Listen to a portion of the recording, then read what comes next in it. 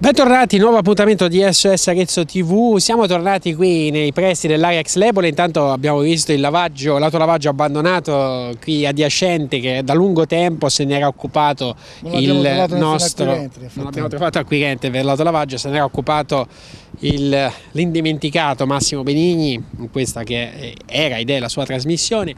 Eh, siamo tornati qui all'area Lebole, intanto ti faccio vedere che qui è stato il degrado, il degrado regna imperante perché qui è stato dato fuoco, cosa c'era? Un bidone, bidone qui? Una spazzatura per, eh, di plastica sicuramente, le ruote sono rimaste, il resto è completamente bruciato. L'altro le fiamme avevano lambito anche, anche quello, altro, quell'altro sì, più grande. Poi dopo, come vedi, qui c'è l'abbandono totale, il degrado totale assoluto di un'area che ha fatto la fortuna della città di Arezzo siamo tornati qui oltre... a quest'ora qui c'erano file di pullman eh sì, che uscivano eh sì. per riportare le donne in tutte le vallate. C'erano file di pullman. Allora non c'era raccordo, passando sulla Fiorentina e a quest'ora era completamente intasata dall'uscita degli operai della Lepole.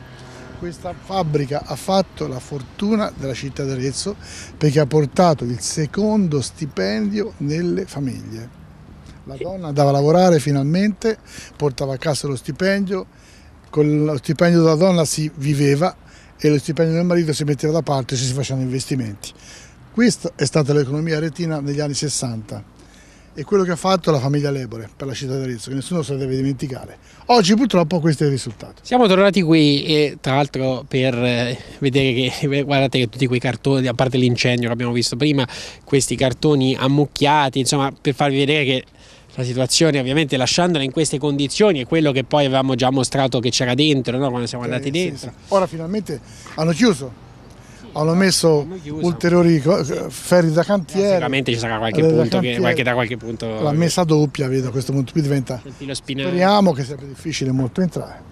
Comunque eh, il colpo di scena, che poi il colpo di scena fino a un certo punto perché siamo in Italia dove chiunque per motivi più o meno legittimi può fare un ricorso al TAR e al di là se il, ricorso sarà fondato, sarà accolto o no, intanto blocca tutto. tutto. In particolare in questo caso eh, il progetto di riqualificazione soprattutto della parte della viabilità. Esatto, perché adesso ci sarà c'è stato ricorso al TAR. Di tre eh, commercianti, a quanto sembra della, della galleria del, dell'Ipercoppa. Quindi adesso ci sarà eh, la decisione del TAR una volta avuta la decisione del TAR chi vince o chi, chi perde sicuramente farà ricorso al Consiglio di Stato e quindi si perde anni ulteriori in attesa di definire quest'area che veramente è la porta d'accesso alla città è veramente inqualificabile tenerla in queste condizioni.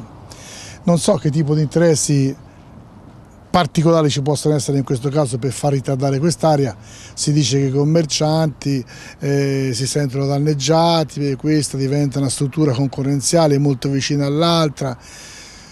Signori, l'abbiamo avuta la libera concorrenza, quindi eh, commercianti datevi da fare perché siete voi stessi con il vostro tipo di operare all'interno delle aziende che prendete o perdete clienti, questo è evidente. Logicamente delle occasioni che poi molte volte così non è, soprattutto vedi, vedi telefoni, Enel, e gas, questa libera concorrenza poi non ha portato diminuzione ma ha portato soltanto confusione e i prezzi sono aumentati e quindi invece questo dovrebbe portare questa libera concorrenza a far sì che i prezzi si calmierassero e quindi il cittadino potesse scegliere dove comprare, cosa comprare ai prezzi più vantaggiosi. Quindi signori commercianti datevi da fare perché sicuramente la libera concorrenza c'è, è sempre esistita, e non è che con i ricorsi al TAR si blocca, perché tanto prima o poi si sbloccherà, anzi si acuiscono eh, certe differenze, certe problematiche che poi in futuro essere, possono anche danneggiare invece che far bene. Eh, perché tanto comunque bloccano, al di là che anche se anche il ricorso non venisse eh, giudicato, diciamo, eh, fondato, intanto bloccano però per due anni, per un anno magari, no, non so, so quanto fino sarà, fino al però, insomma, ti blocca tutto, quindi già è, è, diciamo, è, si è perso tantissimo tempo, eh, più adesso si continua, quindi direi che non lo so, eh, detto, siamo in Italia, quindi non è che sorprende. Mi sembra un po' strano che, che, che per una cosa del, cioè per un interesse di questo tipo eh, si possa bloccare un progetto del genere, perché un conto, ne so, poteva essere qualcuno che sta qui accanto, non lo so, insomma, ci possono essere vari motivi per cui ci può essere un interesse legittimo no? a, a, fermare un cantiere. Eh, in questo Abbiamo caso... bar ogni 20 metri in città. Eh, appunto, dico...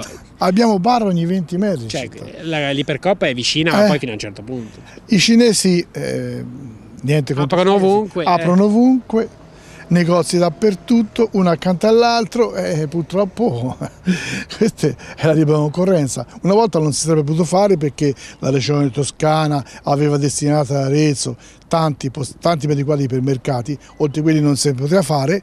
Oggi queste leggi non ci sono più, c'è libero mercato assoluto. Ma sembra quasi quindi... che nel senso, piaccia tenere più le cose così, lo stato, solito status quo ad Arezzo che non succede niente, al di là che non siamo mai stati neanche troppo convinti del progetto, però diciamo che era l'unico che è stato portato Ci messo una ventina d'anni ad arrivare a questa eh, soluzione quindi, con eh, la politica eh. se adesso ce ne mettiamo con le, con le denunce in altri 20 anni eh, allora lasciamolo, così. lasciamolo così facciamo uscire eh. una archeologia industriale sì.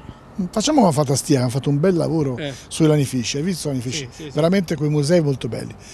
Oddio, qui c'è un bello museo, qui è mega il museo. Bene. Ciao. Ciao.